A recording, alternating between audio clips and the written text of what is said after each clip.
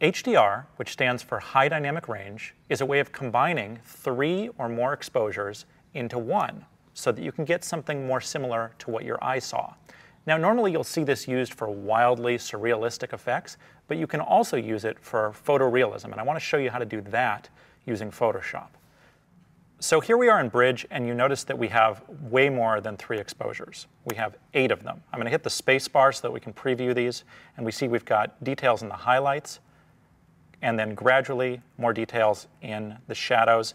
And if you look carefully, you'll also notice that I'm not shooting on a tripod, that these are moving around quite a bit. Do I need eight exposures? Absolutely not. Somewhere between three and five is perfect, but I want to show you that this is possible using a ridiculous number of files. So I could shift click these and send them over to Photoshop from here. That's really easy, but I want to show you how to do this in Photoshop.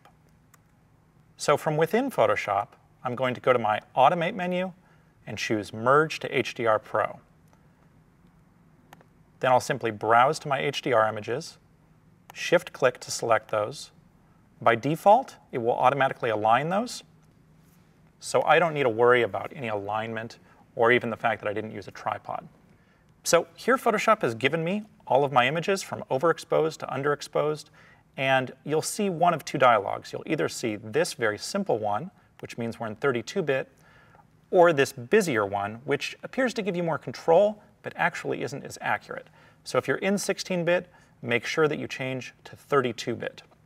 And one of the other problems with this image is because we used multiple exposures, some of the content was moving between exposures.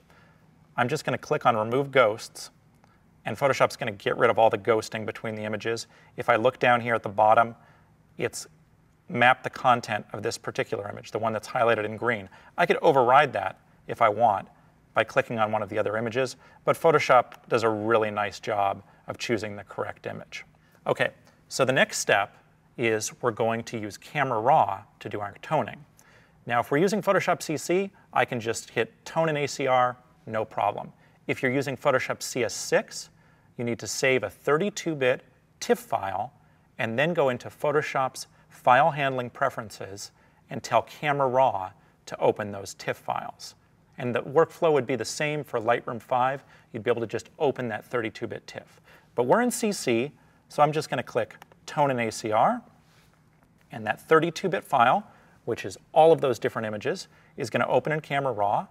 And I have all of my familiar controls here. I can pull the exposure down, the highlights. I can open up the shadows. I can introduce some clarity. I can make this a little warmer. I could add graduated filters to the top and make that even darker. I could even add a color there.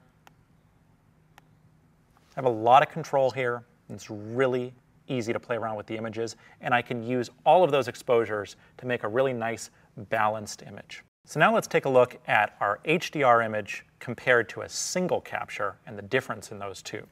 So back here in Photoshop, on the right is the HDR, really vibrant detailed, lots of dynamic range. On the left is a single capture from about the midpoint of that series of eight. And you can see there's a really dramatic difference between one, one image, one exposure, and a combination of the eight. So that gives you an idea of what HDR can do for your photography. It can be used to wildly manipulate an image, but it can also be used to create a proper exposure with a high dynamic range.